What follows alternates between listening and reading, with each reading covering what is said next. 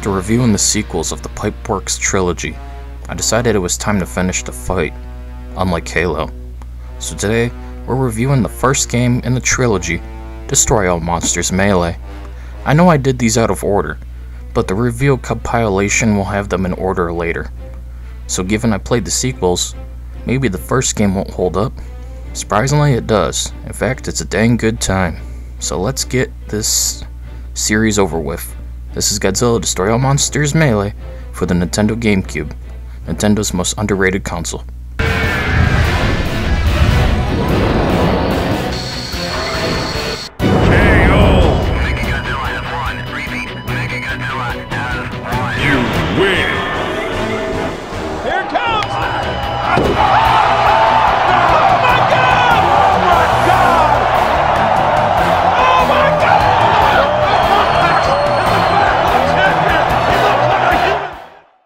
The game controls pretty good. In fact, I'd say it's better than Unleashed in that regard.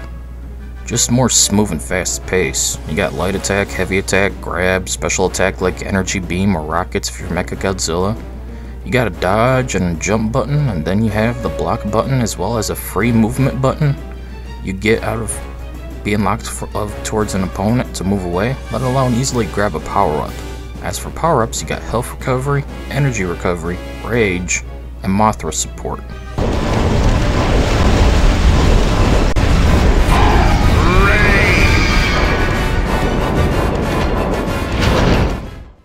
For the first game in the trilogy, there's a decent roster of kaiju. You got Godzilla 90s, Godzilla 2000s, Anguirus, Megalon, Gigan, King Ghidorah, Mecha Godzilla, Orga, Mecha King Ghidorah, and Destoroyah. The question mark is just random selection. I never knew that as a kid and was pissed I never unlocked the so-called last kaiju. Mothra isn't playable yet, though. You can at least summon her with the power-up on the battlefield to attack your opponents. Overall, it's an okay roster, though I wish they would have included some more underdogs like King Caesar. The campaign is called Adventure, where you select whatever kaiju you want and battle your way through a few rounds of them. Once you get to the mothership and face Orga, win, and the alien vision is over. That's it. The only reason to play this mode is to unlock new arenas and kaiju. But then again, given the time period this game came out in, you could just use cheats to unlock everything, which I did because I'm not grinding away. I hate grinding. Unless it's the good kind of grinding. Go to the church and ask God to forgive you. There's no 4 player versus mode with CPUs. You can only have up to 4 human players. So for single player, you get versus, which is just one on one fighting. That does suck and kind of ruin the game for me. A part of the appeal to fighting games like this is having lots of people battling at once. Imagine you couldn't play against more than one CPU in Super Smash Bros. You could only have more than two players if everyone is a human with their own controller. Lame. So if you're into single player only, you have versus, adventure, and survival. That's it kind of sad. And survival is just continuously playing more and more matches until game over. So it's nothing great.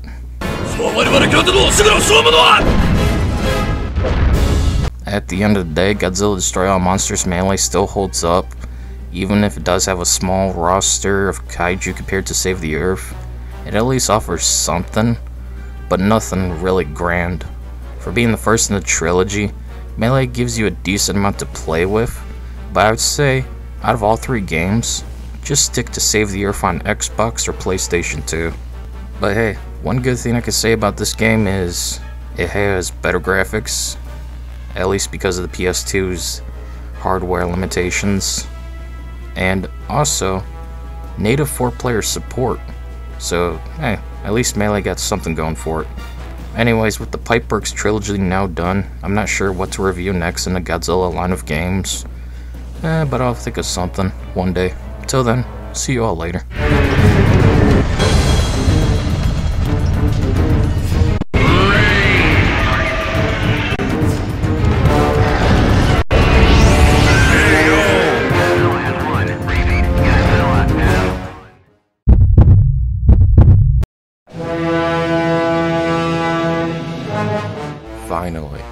It's time to talk about the Godzilla trilogy of fighting games. But we'll start with the sequel, since I never got to play it growing up. I mean, I could've, as I always saw it at a Best Buy.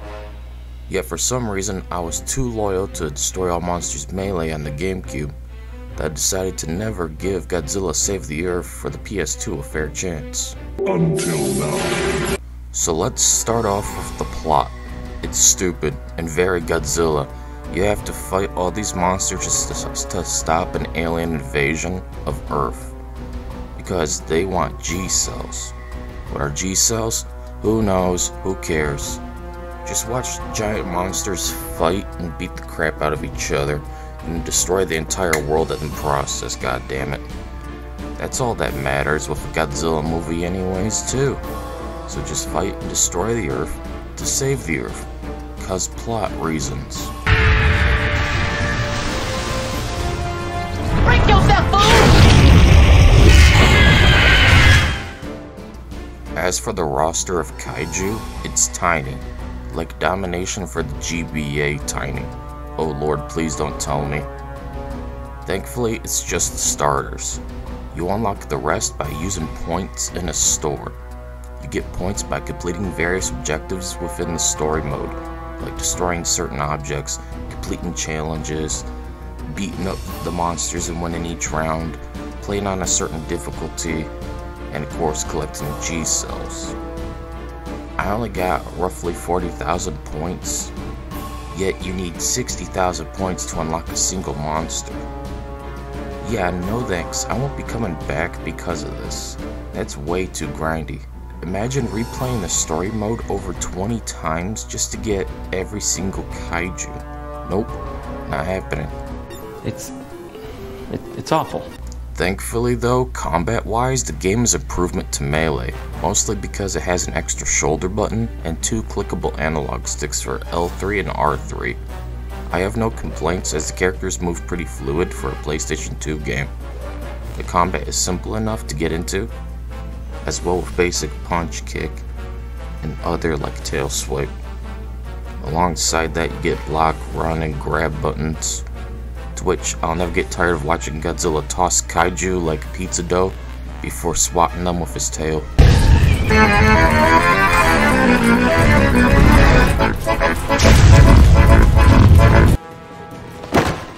Pizza time.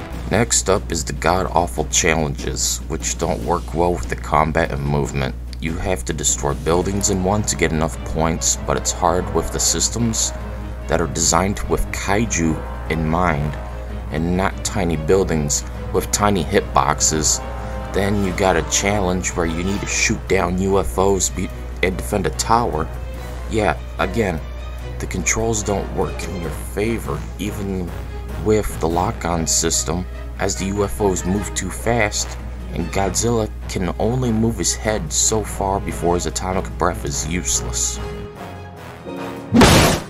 Finally, we have extra modes like Versus, Survival, Melee, and Multiplayer on top of the store, and promo for the Godzilla movie at the time, Final Wars, which was okay. I did like the new Gigan design. Still, better than any American version of Godzilla. Fuck Hollywood. So, we'll just talk about Melee. It's your typical four monster battle mode. You got free for all, team battle, and point battles. So pick your kaiju, opponents, monsters, and the location. You only have two locations and six monsters at first and must unlock the rest, to which I mentioned earlier is too grindy for my taste. So how do battles play out, especially with four monsters at once? Actually, really well and very fast paced and chaotic. I honestly was surprised at the camera working well with all the fighting going on. I really enjoyed melee mode after a few rounds. So, I'll list off the locations and kaiju you can unlock for those who are interested, let alone want to bother with the game themselves and unlock everything. To which I'd say, just go play a Korean MMO at that point.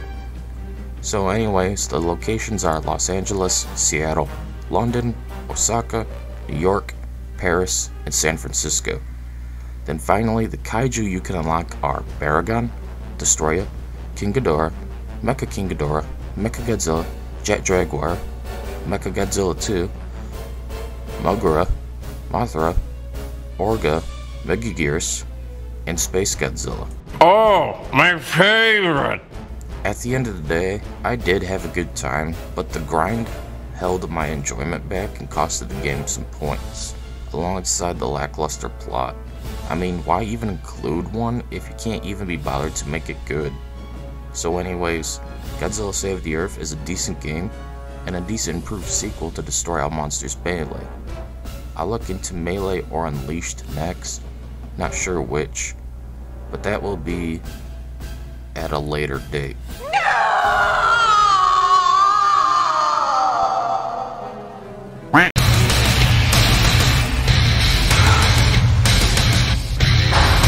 Godzilla Unleashed is the final game of the Pipeworks trilogy, and boy howdy, did they go out with a turd. The game is barely anything different from Save the Earth, with no new content and even more clunkiness, especially the Wii version. But of course, I'm no Nintendo version, so we're looking at the PlayStation 2 version instead. This is Godzilla Save the Earth 1.5. I mean, Godzilla Unleashed. A pointless cash grab sequel to Save the Earth that adds nothing and does nothing. But hey, they finally added a stupid story that they wanted originally put in Save the Earth, which sucks and isn't interesting whatsoever and is just tacked on there. Like majority of fighting games, the story is garbage and only there to give you a false sense of money well spent. You ain't lying. The plot is unknown crystals appear on Earth, and no one knows why. I know why. Because they can't come up with a good story, that's why. There is nothing to it, but the mode itself tried to do something by having you do certain things in every battle. Depending on the kaiju you play as, you may or may not make enemies with certain kaiju and face them in battle. Which isn't great because there's no indication who's friend or foe and you can have friendly fire the entire time with no lock-on system to toggle opponents. You just randomly lock onto any kaiju and hope for the best. You also go on for far too long. I mean, fighting games are just simple short bursts of fun. If you like shitty 90s mechanics, that is. There is no reason for the story mode to exist, plus, you also have to go on for far too long. I mean, you fight over 15 battles. And for what? Nothing. As for what you get for playing story mode, nothing. You get nothing. Nothing! Absolutely nothing! Stupid! You're so stupid! You earn points throughout, but there's no reason, as the store has nothing inside of it, as everything is already unlocked. So you earn points for nothing. Like an arcade game, they're there to give you a false sense of pride and accomplishment, long before EA could ever hope to with Loot Front 2. It can't get worse, right? It can and it will, and here it is. Brawl mode is the same as the first time around. They literally added nothing. It's the same old, same old with the two same old options deathmatch or point match, with team or solo. Then you'll notice the roster is tiny. Yep, they only added one new monster and it's a fucking rock. You also only have a couple of arenas to fight in, all of which you will play constantly in the same freaking arena over and over and over and over and over and over and over and over and over and over and over and over and over and over and over and over again in story mode. So why the hell would I want to play those same arenas in brawl mode? Exactly, I don't. So there's nothing special here, and like in story mode, you can't target certain monsters, and friendly fire is a massive issue. The only appeal this mode has is the fact you can choose which monsters to fight, but that is about it. Ha! Gay! The store has no purpose, as you cannot use your points on anything because everything is already unlocked, and you get nothing for beating the story mode anyways, besides stupid, pointless points. But hey, you can view stupid concept art in the stupid store. That's stupid. Stupid stinky, stupid stinky, stupid stinky. I could do that a long time. The gameplay is largely the same, with nothing different really from Save the Earth. You still have the awful camera, especially when running around trying to lock onto moving targets like the final boss. That was the absolute worst part, just like in Save the Earth with the fast moving UFOs. So, yeah, if you played Save the Earth and Destroy All Monsters Melee, or just one of them, then you've already played this game. You'd think for the third game, they'd, oh, I don't know, make the game more fluid and enjoyable, but nope, just the same copy and pasted hack job. So let's move on to the rest and be done with this trash heap of a game. Okay. The roster is the same as the last game, except they added a stupid rock monster. It doesn't even have a name in game, as the announcer goes silent when the battle's about to begin and the announcer tells you who's who. How lame. So you have Godzilla 90s, Godzilla 2000s, Angry Anus, Gigan, Megalon, King Ghidorah, Mechagodzilla, Mothra, Jet Jaguar, Moguera, Baragon, Dame Dame Guy, Orga, Mega Anus, Battra. Yep, that's it. Nothing new, except a rock monster. What the fucking kind of bullshit fuckery is this? Ass! That's about it. There's not much else to talk about. The game is literally just Save the Earth 1.5 with nothing new and tons of performance issues, even with emulation. The game looks awful and runs awful at almost every turn. In fact, that's why I'm not making a playthrough video because your ears would bleed from all the crunch and static and choppiness. Though there's a huge, huge, huge list of cut content that didn't make it into the game, which just makes you realize how cursed Godzilla games are the fact Toho rushes them out the door and never approves majority of the kaiju just to piss us all the fuck off. The following arenas were cut Los Angeles and Mount Fuji. Day and night cycle and options were cut as well. They also removed power lines from the levels due to technical reasons. As for the kaiju, are you sure you're ready for this list? Okay, here we go. Fire Lion, Lightning Bug, The Visitor, Ghidorah, King Kong, Mechaani Kong, Gamera, Zilla, Bagan, Clover, Monster X, Kaiser, Ghidorah. Do I look like a happy camper to you? Didn't think so. At the end of the day, I went in expecting a great game after the second one, yet left wondering what the fuck was even the point of this piece of fucking shit game. Truly, a mind fuckery unlike any other. Glad I played it now, knowing I didn't miss out on shit as a kid. This turd needs to be shoved back into the sewer where it belongs. No one should have to play this trash heap of a $60 product. Pipeworks should have been ashamed for what they made, let alone didn't make, as barely anything is new. Godzilla deserves better, and maybe one day we will get the best Godzilla game imaginable, where every kaiju is playable, and there's tons of content with great graphics and gameplay. Till then, we'll have to settle for Godzilla Save the Earth for PlayStation 2 and Xbox. Anyways, that's it for this video. See you all later. I'll try to find more good games to cover, as I made too many negative reviews lately. You're stupid. You can't add two plus two. You know why? Cause you're stupid, stinky, stupid, stinky, stupid, stinky, stupid, stinky, stupid, stinky. I could do that a long time. Stupid, stinky, stupid, stinky, stupid, stinky, stupid, stinky, stupid, stinky. Stupid.